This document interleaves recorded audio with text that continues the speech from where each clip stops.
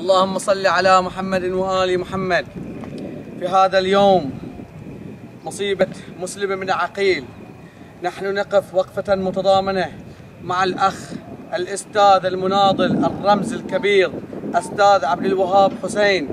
نحن معك كآباء شهداء وحقوقيين ومنظمين. لم يسكتوا ولم يتنازلوا عنك يا أبو حسين.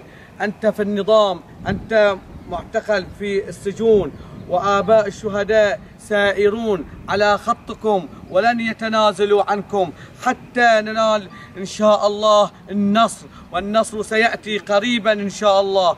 ونسأل الله وسبحانه وتعالى بالفرج العاجل القريب إليكم إن شاء الله. إلى كل المعتقلين وإن شاء الله المهجرين يرجعون رافعين رؤوسهم ونرفع رؤوسهم إن شاء الله. والجرحى لا ننساهم. نسأل الله سبحانه وتعالى أن يشافي كل جريح إن شاء الله. ونسأل الله سبحانه وتعالى بالنصر القريب إن شاء الله. والسلام عليكم ورحمة الله وبركاته.